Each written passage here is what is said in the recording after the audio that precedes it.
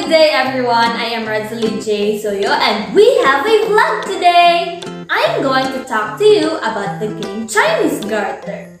Hmm, by the way, I will ask you, what is a Chinese Garter? Wait, wait, wait. Just give me a sec because I'm too formal for today and I am going to have my PE outfit or the physical education outfit. Okay?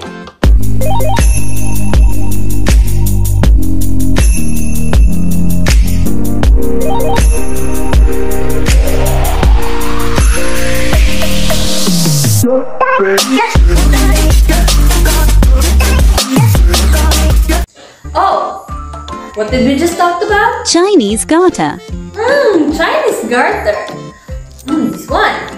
Chinese garter basically, it is a famous game that requires flexibility, balance, and coordination.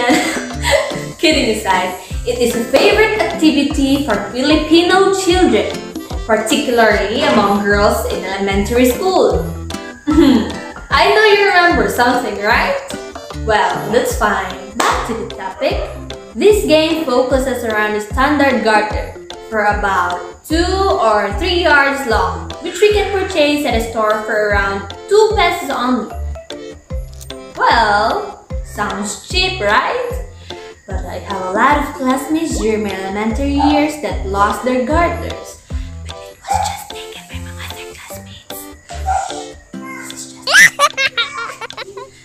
By the way, we already know the meaning of Chinese garter and where we can buy it. So, next is, are you ready to We play? don't know how to play it. Huh? You don't know how to play this one? Well, I'm basically an expert. I will teach you how, and it's not a problem anymore. I will show you how it is being played. Got it? Got it. Got it. First, you need to have two groups with at least two members per team. In each group, you should pick a leader, what do we call the mother of the earth. This is the mother of the game, which will save your team or a person in your team that fails a certain level, and the other two will serve as a hosts. This game is usually subdivided into 10 levels. Here is the example of the levels being used to give you an idea. Each round, the garter's height is made higher than the previous round. As the garter is stretched out to the posts, it will start in the ankle level, followed at the knee level, until the garter is positioned above the head. The only objective in this game is to be able to successfully jump over the garter as it is held higher by the game posts. And the goal is to cross without having tripped on the gutter. That's it. What happened? Why are you sad? Well, I just remember something.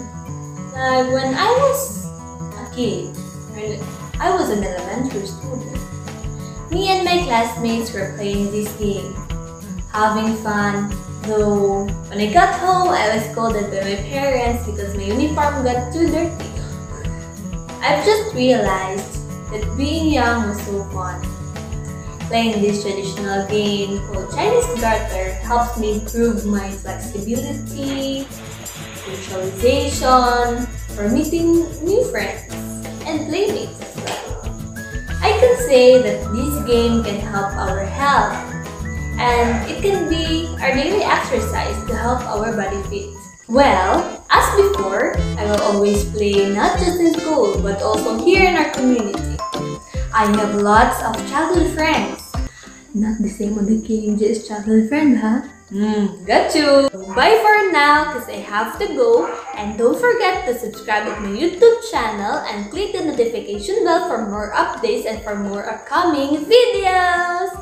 Again, this is Wesley J. D. Suyo. Stay positive, everyone, but not on COVID-19.